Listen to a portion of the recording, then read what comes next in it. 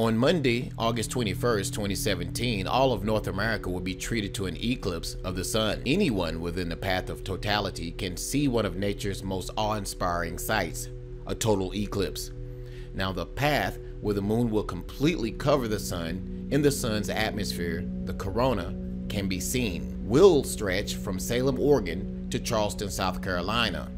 Now observers outside the path will still see a partial solar eclipse where the moon covers part of the sun's disk. The so-called Great American Total Solar Eclipse will darken skies all the way from the northwest to the southeast portion of the United States along a stretch of land about 70 miles wide. People who descend upon this path of totality for the big event are in for an unforgettable experience. Now remember, looking directly at the sun, even when it's partially covered by the moon, can cause serious eye damage or blindness.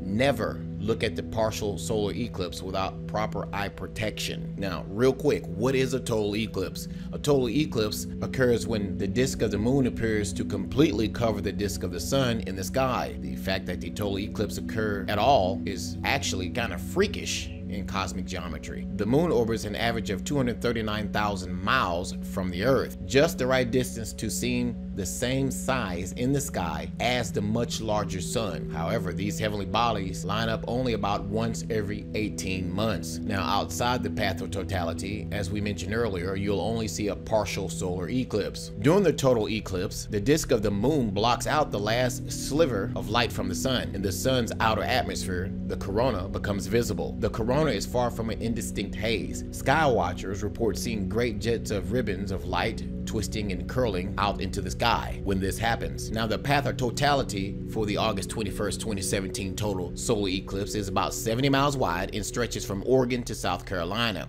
It passes through Idaho, Wyoming, Nebraska, Kansas, Missouri, Illinois, Kentucky, Tennessee, Georgia, North Carolina, and South Carolina. Now you'll find under this video a state-by-state -state guide link to find out which major cities in prime locations will fall inside the path of totality. Remember, if you're going to look directly at it, wear eye protection. Leave your comments below this video. Thanks for watching.